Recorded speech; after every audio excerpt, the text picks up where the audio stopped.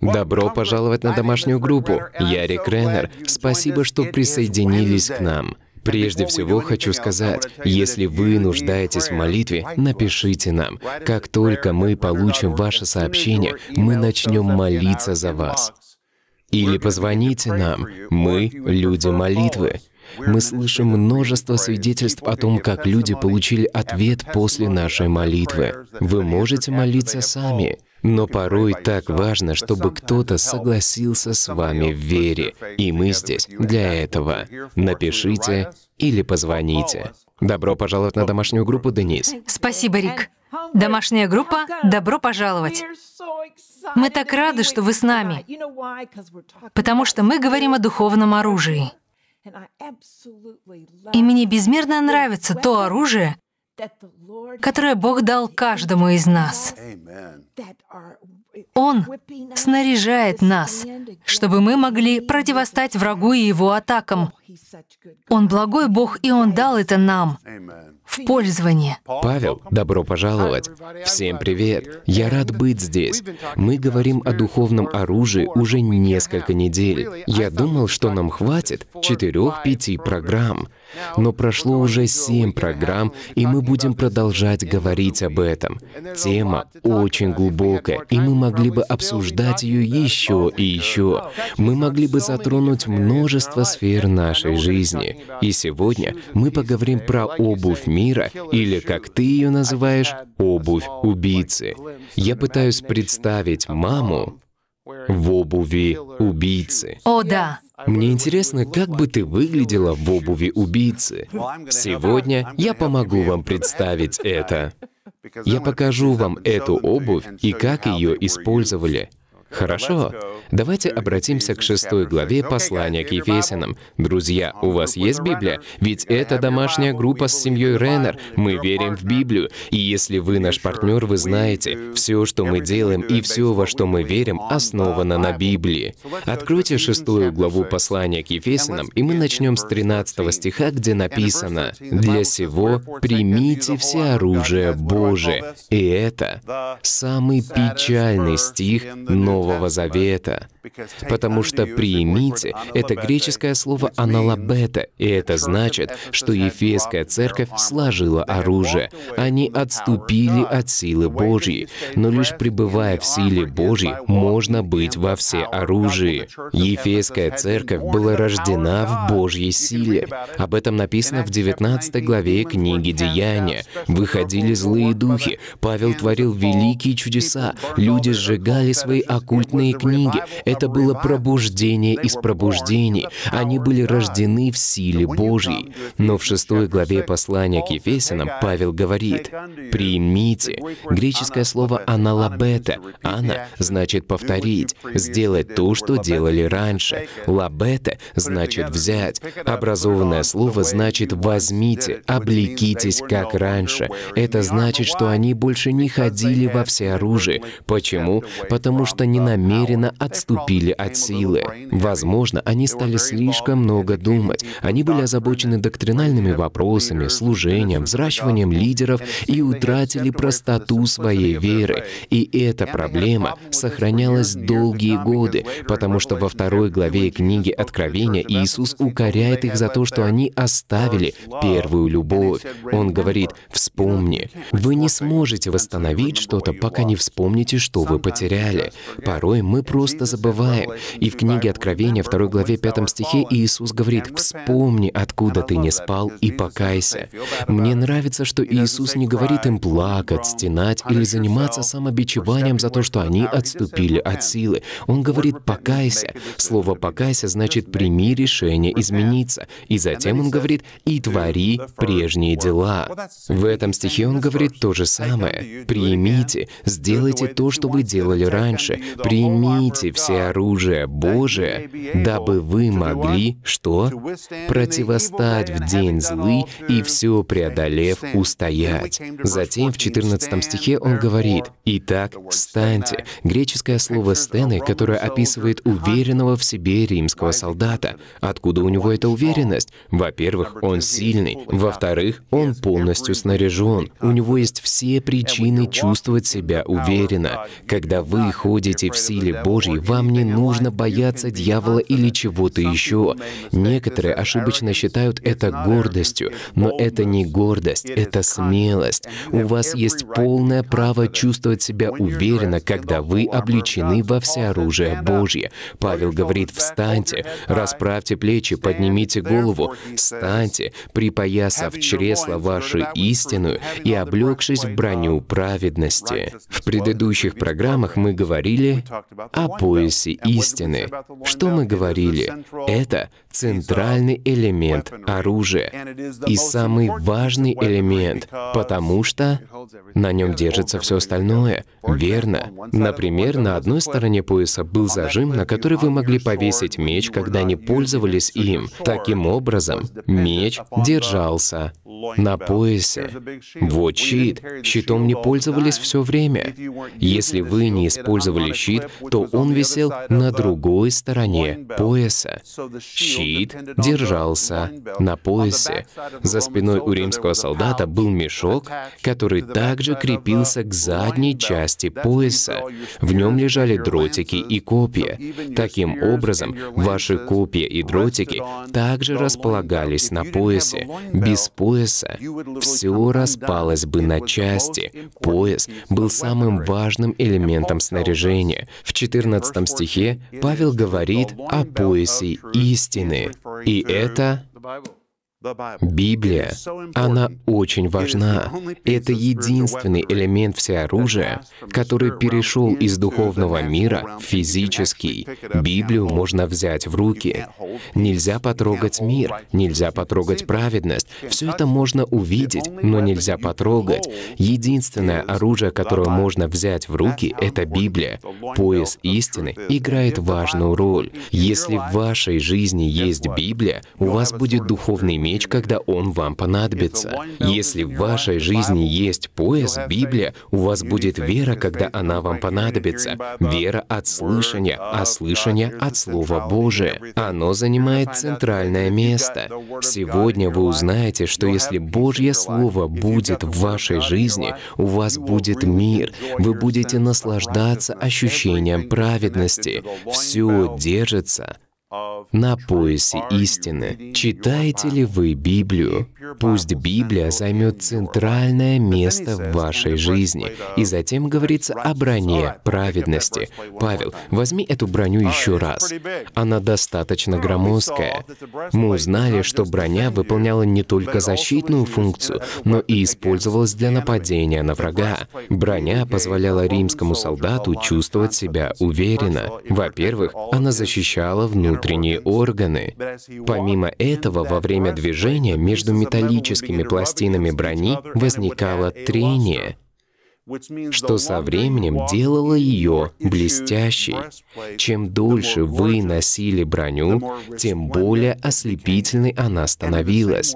Точно так же, когда вы знаете, что вы праведны, и вы ходите в этой праведности, со временем вы становитесь все более и более красивыми и сияющими. Нет ничего прекраснее, чем верующий человек, который знает, что он праведен. Он просто светится от живущей в нем уверенности. Ведь это изумительно, Денис. И это видно.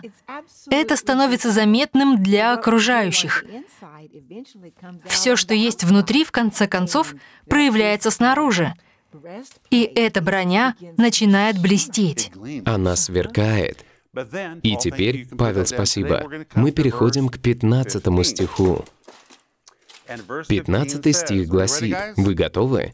И обув ноги». Запомните слово «обув», мы вернемся к нему через минуту. «И обув ноги в готовность благовествовать мир». Где Павел получил это откровение? Кто напомнит мне? Павел, он находился в тюрьме, скованный цепью с римским солдатом. Итак, он в тюрьме, скованный цепью с римским солдатом. Бог говорит нам через наше окружение. Павел смотрел на этого солдата каждый день, смотрел на его шлем, броню, пояс, щит, меч, обувь. И день за днем, неделя за неделей, месяц за месяцем, глядя на этого солдата, он начал приходить к осознанию, что Бог дал нам в духовном мире. И дело дошло до обуви. И вот Павел смотрит на обувь римского солдата и получает откровение об оружии, которое названо обувью мира. Забавно, что в этом стихе это перевели как «обувь мира», потому что на самом деле это была обувь убийцы. И в этом стихе написано «обув ноги». Скажите «обув», «обув». Что значит «обув ноги» в готовность благовествовать мир? Я покажу вам. У меня есть реплика обуви римского солдата. Это реплика. Вы видите эти ремни?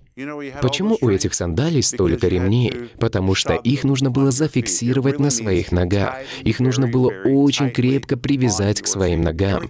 Библия всегда очень точна, и каждое слово использовано в ней с определенной целью. Павел говорит, если мы хотим ходить в мире, мы должны принять решение делать это. Мы должны крепко привязать мир к своим ногам, иначе мы его потеряем. И важно знать, что есть два вида мира.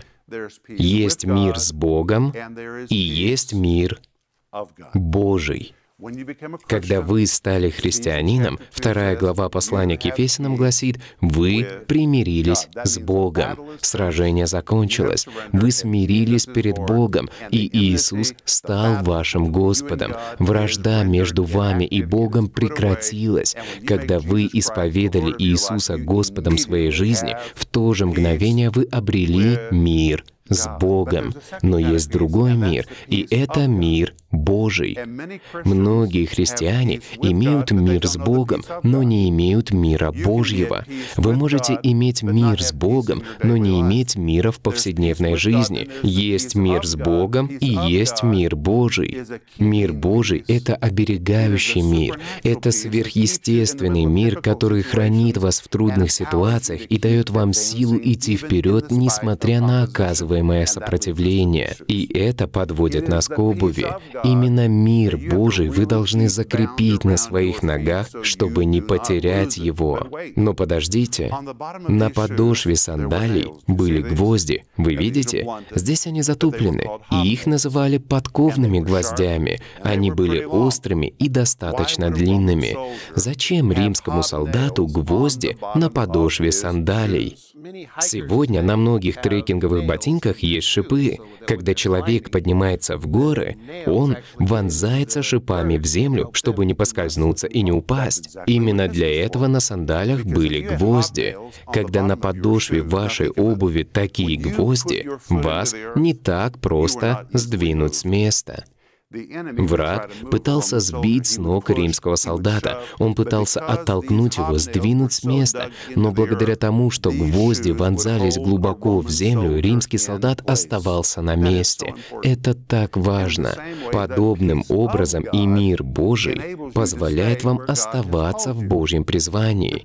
Божий мир — это хранящий вас мир. Будьте уверены, если вы попытаетесь продвинуться в своем бизнесе, в своем призвании, в помазании, к чему бы Бог ни призвал вас, дьявол попытается сбить вас с ног, он попытается столкнуть вас, но мир Божий обладает силой, которая поможет вам оставаться на месте. Я говорю так, когда в вашей жизни есть Божий мир, вы подобны пальме во время урагана. Во время урагана пальма может наклоняться все сильнее и сильнее, но как только ветер стихает, она снова встает прямо благодаря глубоким корням. Вот что делает делает Божий мир. Он помогает вам оставаться на месте. Это так сильно, это чудесно. И здесь говорится так много о том, чтобы стоять. Написано «станьте», дабы противостать. Обувь мира помогает нам оставаться на месте. Важно знать, где мы должны быть и оставаться там. Ты помнишь, Денис, что живя в бывшем Советском Союзе, нам часто приходилось противостоять ветрам оппозиции.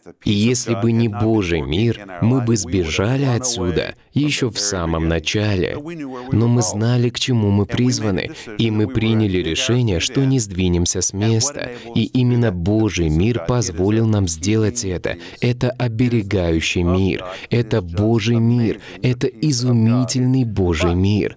Но не концентрируйтесь только на том, что на ваших ступнях, потому что это лишь часть обуви римского солдата. Я оставлю это в одной руке и покажу вам другую часть. Сандалии надевались на ступни, и гвозди позволяли оставаться на месте, но от щиколотки до колена нога была покрыта вот этим. Это тоже элемент обуви римского солдата. Это называется поножи. Поножи. Они были разных размеров. Когда солдат вступал в пехоту, для него изготавливали поножи по индивидуальным размерам. Точно так же, когда вы вступаете в ряды Божьей армии, Бог снимает с вас мерки. Он точно знает, что вам нужно. Вы под защитой. Не смотрите на других. У вас есть все, что нужно именно вам. Но зачем нужно было закрывать ноги от щиколотки до колена? Можно сказать, что это стальные ботинки. Поножи делали из стали. Но для чего? Римские солдаты сталкивались с врагами. И одна из тактик врага заключалась в том, чтобы ударом по ноге сломать вам кость, сбить вас с ног и отрубить голову. Но если на вас надеты поножи, враг может наносить удары, но ничего этим не добьется, потому что вы защищены. Точно так же, когда вы начинаете свой путь с Богом, дьявол пытается ударить вас по лодыжкам, но мир Божий настолько сверхъестественный, что дьявол может наносить удары, и другие люди могут видеть это. Дьявол использует ужасную тактику, но вы под защитой, вы защищены. И удивительно, что люди могут спрашивать вас, как ты справляешься с этим? Но когда у вас есть Божий мир, вы словно в пузыре, вы даже не знаете, что находитесь под атакой. Вы можете предполагать, что дьявол пытается сделать что-то, но вы защищены Божьим миром. Вы не чувствуете удара врага. Это сверхъестественный, оберегающий вас мир. Но это не все. Римские солдаты также надевали поножи, потому что, когда они шли строем, им приходилось проходить по опасным каменистым местам. И без специальной защиты они резали бы свои ноги о камни, у них были бы кровоточащие раны. Но поскольку их ноги были закрыты металлическими поножами, римские солдаты могли совершенно спокойно ходить по каменистым местам. Они пробирались через опасные места и продолжали идти вперед, не причиняя себе вреда. Вот что происходит, когда Божий мир действует в вашей жизни. Порой в нашей жизни нам приходится проходить каменистые места. Наша семья, наше служение, мы прошли немало каменистых мест за 30 лет, проведенных на постсоветском пространстве. Я могу бесконечно рассказывать эти истории, но мы по-прежнему здесь. У нас все хорошо, мы пребываем в духе, мы живем в радости. Но мы смогли пройти все это не потому, что мы очень умны, а благодаря Божьему миру.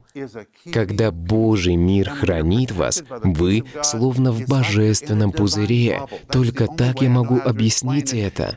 Вы можете проходить через крайне опасные каменистые места и оставаться невредимыми. Но и это еще не все. Помимо каменистой местности, иногда римские солдаты были вынуждены проходить через поля с терновником. Терновник это нечто ужасное. Не так давно у нас были съемки в Турции. Мы снимали программы в Иераполе. Когда вы приезжаете в Турцию вне сезон, там нет зелени. Там есть только колючки. Ай-яй-яй. Это ужасно. Они цепляются за брюки, царапают ноги. Очень трудно работать в таких условиях. Эти колючки тормозят весь процесс. Римским солдатам приходилось иметь дело с такими колючками. Им нужно было идти вперед, несмотря на колючки или сложную ситуацию. Но благодаря тому, что их ноги были покрыты металлом, они могли проходить самые трудные ситуации, оставаясь целыми и невредимыми. Они просто продолжали идти. Это изумительно. А как насчет змей? Не думаю, что это может защитить от змей. Понятно.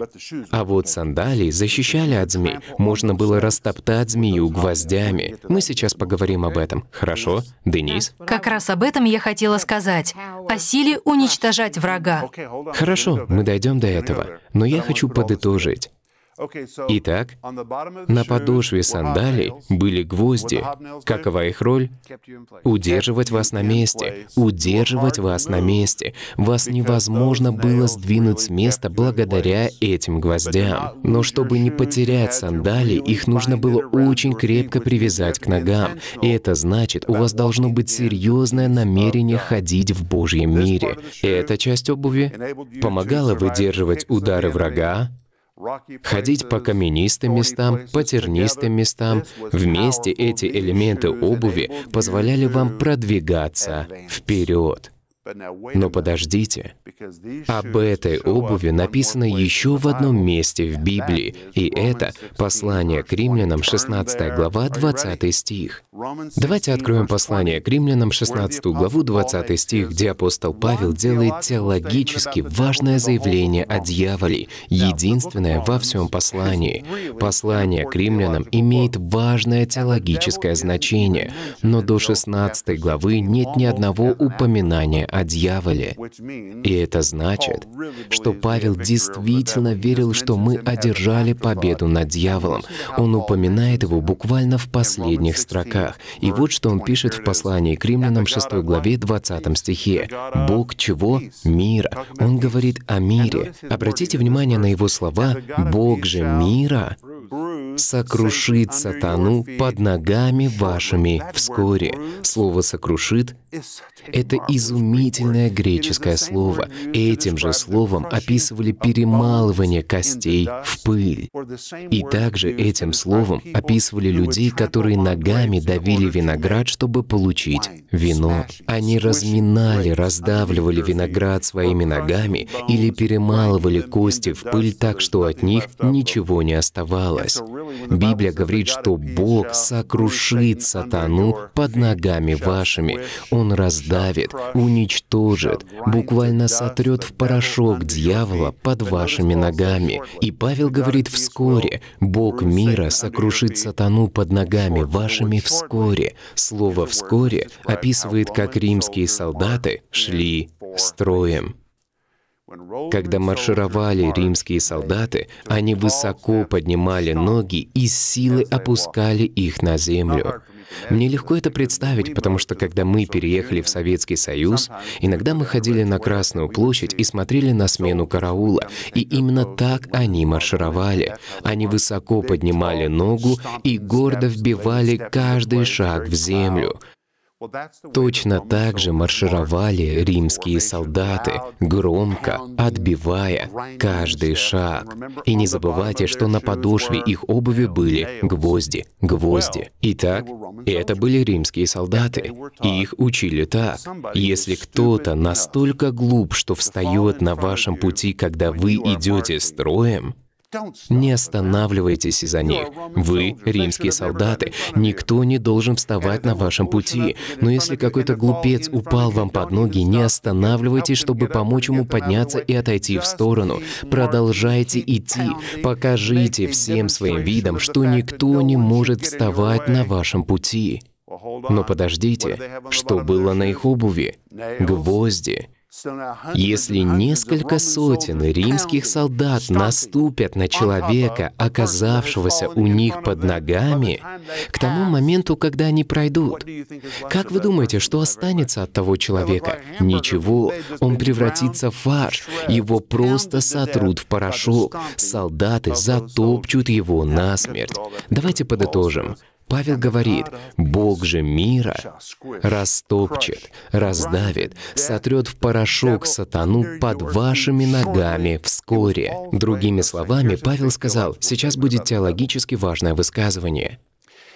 Если дьявол настолько глуп, что встает на вашем пути, не останавливайтесь и не просите его отойти. Продолжайте идти, шагайте со всей силы, растопчите его своими ногами, раздавите его, преподайте ему урок, что он никогда не должен вставать на вашем пути.